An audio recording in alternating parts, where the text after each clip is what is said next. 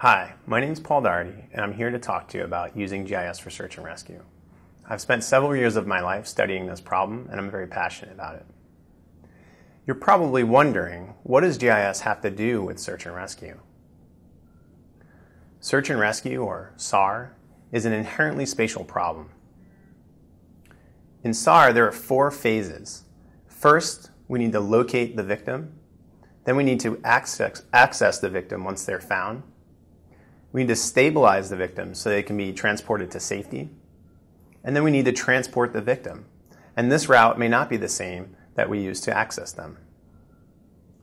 Within each of these phases, you'll find maps, or at the very least, mental maps used as part of the process. Another thing to consider is how spatial analysis can be used for prevention, known as PSAR. But for now, let's talk about the search component. When someone goes missing, it truly is an emergency. The longer they're missing, the less likely it is that they'll survive the environmental conditions, trauma, or medical issues that they're facing. For most teams, when a search is launched, several reflex tasks are considered and spatial questions are asked. Where was the person last known to be? What direction were they headed in? What are some of the hazards we face in the area? Who might have seen this person before they ran into trouble, and where were they? Where have we already searched? And most importantly, where is the person most likely to be right now? In general, search managers are using paper maps, transparencies, markers, and whatever tools they have at their disposal. And this will work 95% of the time as many missing persons are found very soon after they're reported missing. However, when the search is unsuccessful in those first 24 hours, these techniques become problematic. Data management becomes an issue, and when gut instincts do not yield a successful find, spatial analysis becomes an indispensable tool.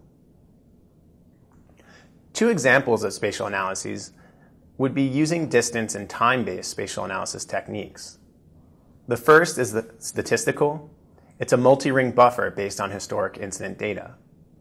This technique uses historical data from a large international search and rescue database created by Robert Koester. It summarizes the distance at which people are found from where they're last known to be. It takes into account the behavior and activity of the missing subject. The distance used for these analyses, however, is as the crow flies, and we have found evidence that a local summary works better than a global summary. The second is the theoretical model. This is a travel cost model based on the terrain and scenario information. This technique is newer and relies more on the principles of physics. Terrain simply affects how quickly someone can move through the landscape.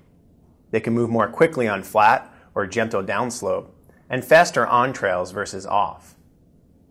However, this model assumes a constant walking speed and really relies on your investigation of what the missing person's behavior might have been. For instance, will they just stay put or will they wander? Our research concluded that combining both of these techniques may provide the best balance between the statistical and theoretical analyses. More research needs to be done to test other models as well. Spatial analysis offers promising techniques for solving search and rescue problems. I hope you found this interesting, and if you want to help, here's how to get started. First, continue learning about spatial analysis. Second, find out about the GIS Corps. The GIS Corps is a nonprofit organization, and they're seeking to help GIS professionals and people who are interested in GIS connect with search and rescue teams.